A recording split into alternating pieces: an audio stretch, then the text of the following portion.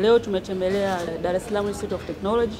Lengo ni kuona miradi ambayo imetengewa fedha kwa bajeti ya 2022-2023 ili tuweze kuwapitishia bajeti yao ya 2023-2024. Na moja ya miradi ambayo tumeiona ni hii miradi ya teknolojia mpya katika utengenezaji wa vipuri Tanzania na hasa katika vipuri vya bajaji na fuso ambazo ndo ni moja ya mitambo ambayo ina, inatumika sana kwenye nchi yetu maeneo yote ya mjini na vijijini. Na nitumie fursa hii kuwapongeza sana uh, Dar es Salaam Institute of Technology kwa hatua ambayo wanapiga. Unajua, huko nyuma tumezoea kuona vyuo vinazungumzia theory zaidi na nadharia, lakini hatujashuhudia sana wakifanya vitendo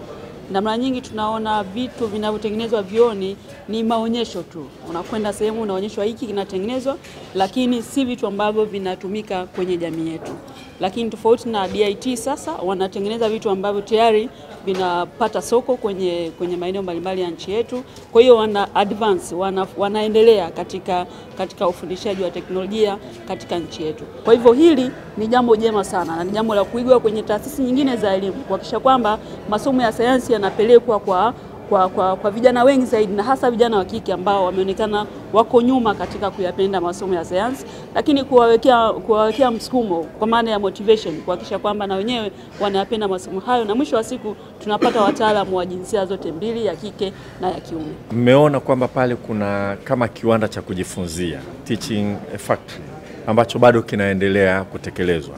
Uh, sisi wengine tuliingia wizarani, Wizara ya Elimu, Sayansi na Teknolojia, ilikuwa tarehe nane mwezi wa kwanza mwaka jana. Kati ya maelekezo ya kwanza tuliyotoa ni kuhakikisha kwamba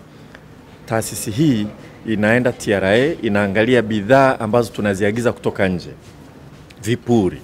kwa ajili ya bajaji labda na magari, alafu tuangalie ni kipi ambacho tunakizalisha hapa,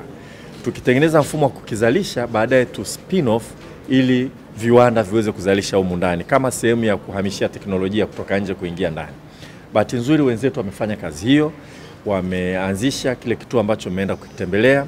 wameainisha vipuri vya bajaji na vingine vya magari kama fuso ambavyo wameanza kuvifabricate kwa kuchukua takataka ambazo za aina ya plastiki,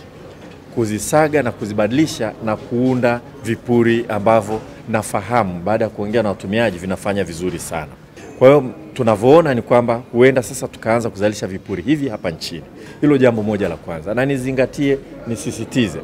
hatuzungumzii tu teaching factory kufundishia watu katika viwanda, lakini tunazungumzia uzalishaji hasa commercial production katika viwanda nje ya chuo kwa kampuni tanzu inayomilikiwa na chuo, vilevile kutoa fursa kwa wafanyabiashara binafsi ambao wanataka kuchukua ubunifu huu kwenda kubiasharisha kwa kulipa baadhi ya malipo hapa chuoni, waende wakafanya biashara ya kutengeneza kutengeneza faida. Hilo la kwanza. La pili kubwa ambalo ningependa kulizungumzia ni lile ambalo mwenyekiti wa baraza hapa amelizungumzia, ku internationalize elimu tunayotoa hapa, kuifanya kimataifa na shindani. Tungependa makampuni yanapotaka kuajiri yapiganie kupata watu waliotoka katika taasisi hii. Hatua moja kubwa ambayo imefanyika hapa kwenye chuo hiki kubwa na nzuri sana ni kuingia mkataba na chuo kimoja China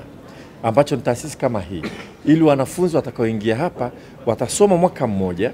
baada hapo wataenda China miaka miwili, alafu wakirudi hapa mwaka mmoja watakuwa na elimu ya miaka minne, watapata shahada ya hapa, lakini kule China miaka miwili watapata diploma. Sasa hii initiative imesukumwa sana na kampuni ya Group 6 ambayo inafanya construction work, civil work hapa nchini na nje ya nchi kwa sehemu kubwa, na wenyewe walikuwa wanaona umuhimu wa kufanya utaratibu ili kupata watu wahitimu ambao kwa kweli na wao wanaweza kawaajiri wametuhakikishia kila mtu atakayepitia katika programu hii akitoka atapiganiwa na makampuni ya Kichina ambayo anajenga majengo, anajenga barabara hapa ndani ya nchi na nje ya nchi. Kwa programu hii inaanza na wanafunzi wachache, wanafunzi 30 tu, lakini tunaweka bidii kuhakikisha kwamba itaongeza idadi ya wanafunzi ambao watakwenda kusoma kule, ili wakimaliza tu mara moja watapata ajira. Tumeona 3D printing technology pamoja na programu yake ambayo inaweza kutumika katika E, kutengeneza e, katika kudesign kusanifu, lakini pia katika kutengeneza molds zinazotumika e, kwenye uzalishaji viwandani. E, tumeona pia eneo la kubadili matumizi ya magari kutoka e, kwenye kutumia e, mafuta aina ya petroli na kutumia gesi ambapo e, inatoa option ya kwamba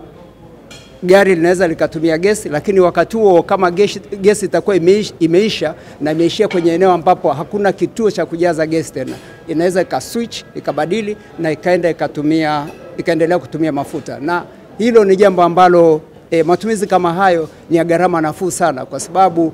ukiangalia kwa magari madogo e, kutoka hapa mpaka Dodoma unaweza gari linatumia wastani wa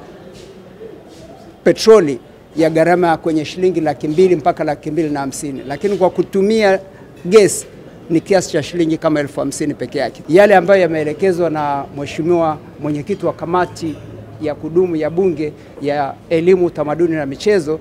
pamoja na kamati nzima, pia nayo tutayafanyia kazi kwa e, umakini mkubwa na kwa wakati.